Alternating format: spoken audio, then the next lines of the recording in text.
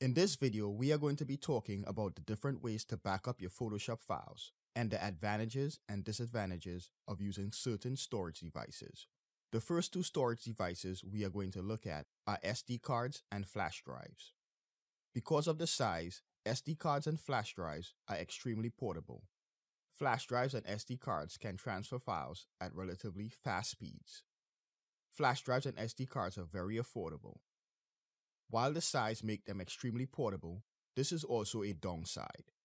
Due to the size, they can easily get lost, stolen, or destroyed. By the way, if you are looking for a good way to store your SD cards, take a look at one of these SD card storage cases. A link to the product is in the description. Flash drives and SD cards are not ideal backup storage devices. They are more suited for transporting data between devices or storing data on a short term basis. The next option we are going to look at is external hard drives. External hard drives are relatively inexpensive. You can get a 1 terabyte drive for less than $50. Just like flash drives and SD cards, external drives are also portable. Newer external hard drives use USB 3.0 or USB C, which makes data transfer to and from your computer very fast. If you are going to purchase an external hard drive that uses USB C, you want to make sure your computer has a USB C port. Since this port is relatively new and is not available on older computers. External hard drives are portable, which is good. However, this is also a downside because the drive could get lost, stolen, or damaged as it is moved from place to place. An external hard drive is almost a perfect way to back up your files, but if you are using it for long term storage, the files should be backed up to a secondary location as well. Now we are going to look at NAS devices. NAS, which stands for Network Attached Storage, is a storage device which is attached directly to a network.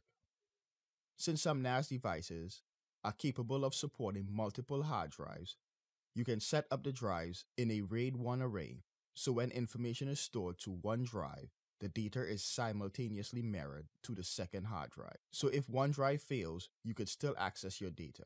If the NAS is connected to your network, you can allow any computer on the network to be able to access the files on the NAS. Also, most NAS devices come with their own cloud service. This allows you to remotely access the data stored on the drive.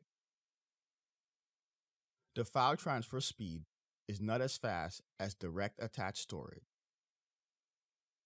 Since the NAS device is stored in your home and not in a data center that is built to withstand natural damage like earthquakes, fire, and floods, the device could be damaged due to one of these events, which would result in data loss. While NAS devices is extremely easy to set up, features such as the remote access require some knowledge of computer networks to be configured correctly. Next is cloud storage.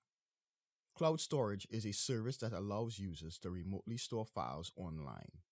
The data is managed and maintained and backed up remotely. Files can be accessed virtually from anywhere with an internet connection. Cloud storage is a low cost, easy way to ensure backup and disaster recovery with offsite backup. The initial cost is low, as you only have to pay for what you use and do not need to make significant upfront investments. If you don't have access to the internet, you would not be able to access your files. There is always the concern with safety and privacy of important data stored remotely. While the initial cost of cloud storage is low, the price could add up as you expand and additional space is required. So those are some ways to back up your Photoshop files. I hope you found this video helpful. Please subscribe to the channel for other Photoshop related content.